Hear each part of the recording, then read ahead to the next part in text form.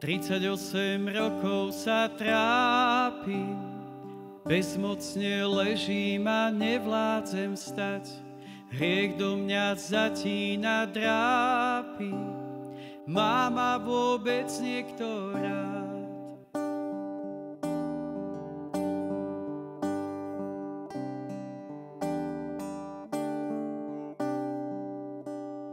Jedného dňa pri ovčej bráne kto si sa pýta, či chcem ozdravieť, všímať si moju beznádej, vraví mi pár strohých vied.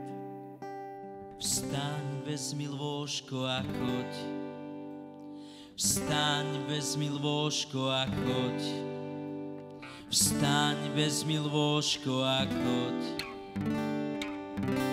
A už viac nehreš.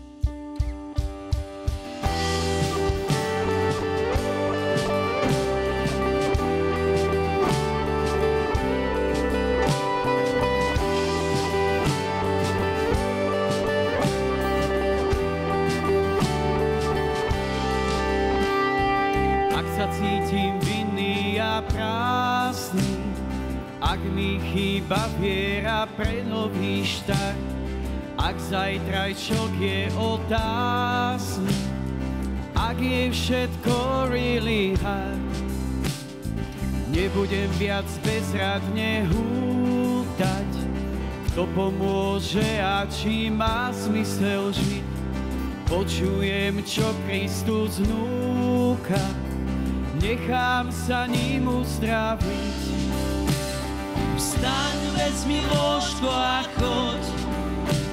Vstaň, vezmi lôžko a choď. Vstaň, vezmi lôžko a choď. A už viac nehreš. Vstaň, vezmi lôžko a choď. Vstaň, vezmi lôžko a choď. Vstaň, vezmi lôžko a choď už viac nehreš. Bratia a sestry, toto Boh hovorí nám. Nám tým, ktorí tu potrebujeme. Lebo vie, že sami nevstaneme. On vie, on nás pozná, že potrebujeme Jeho pomoc. Potrebuješ Jeho pomoc? Potrebuješ, aby zazneli z Jeho úst tieto slova? Vstaň, vezmi lôžko a choď. Chlap bol 38 rokov chorý. Koľko máš rokov ty? Môžeš to spočítať. Ale každý z nás potrebuje počuť od pána. Vstaň, vezmi si lôžko a choď. Buď uzdravený. Nedovolme našej píche a našemu hriešnemu spôsobu života, aby sme ostali v chorobe, v trápení. Poddajme sa Bohu, padnime pred ním, uznajme svoje hriechy, prosme ho, aby nás uzdravil. On to chce.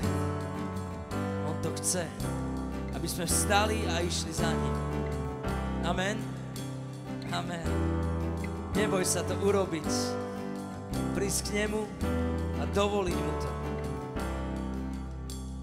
Vstávam a odvážne kráčam, nechávam sa uzdraviť Vstávam a odvážne kráčam, nechávam sa uzdraviť Tebou, Ježiš. Vstávam a odvážne kráčam, nechávam sa uzdraviť. Vstávam a odvážne kráčam, nechávam sa uzdraviť Tebou,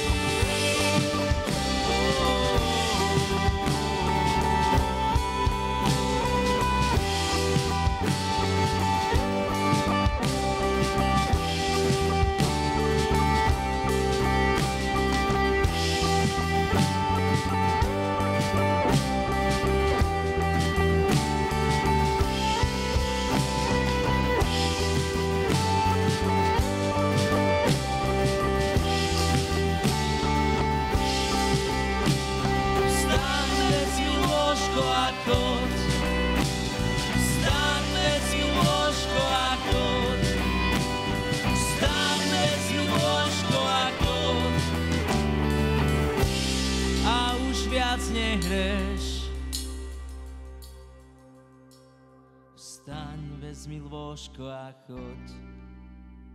Vstaň, vezmi lôžko a choď. Vstaň, vezmi lôžko a choď. A už viac nehreš.